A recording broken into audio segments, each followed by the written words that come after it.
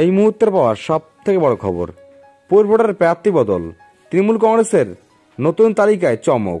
বিস্তারিত জানিয়ে দেবো ভিডিওটি সম্পূর্ণ দেখবেন। আপনাদের কাছে ছোট একটি অনুরোধ, আমাদের এই ইউটিউব চ্যানেল নতুন হলে চ্যানেলটি অবশ্যই সাবস্ক্রাইব করবেন এবং পাশে থাকা বেল আইকনটি প্রেস করবেন।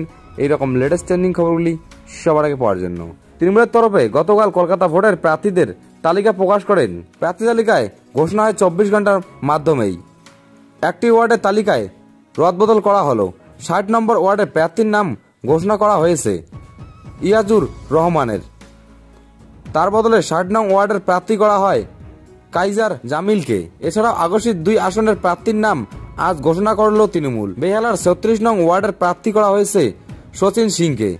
বেহালার পশ্চিমে একশো উনিশ নং ওয়ার্ডের প্রার্থী করা হলো কাকলি বাগকে। শুক্রবার যখন প্রার্থী তালিকা ঘোষণা করা হয়েছিল তখন দুই আসন ফাঁকা রয়েছিল তৃণমূলের। অনেকেই মনে করেছিলেন এই ফাঁকা দুই আসনের মধ্যে হয়তো বাবুল সুপ্রিয়কে ঢোকানো হবে। আজ জল্পনা শেষ করে আজ ফাঁকা দুই আসনের প্রার্থীর নাম ঘোষণা করে দিল তৃণমূল নেত্রী মমতা বন্দ্যোপাধ্যায়। এছাড়াও একটি আসনের প্রার্থী বদল করল আজ তৃণমূল। যেখানে দুক, একটি আসনের নাম নেই আসানসোলের প্রাক্তন কেন্দ্রীয় মন্ত্রী বাবুল সুপ্রিয়র।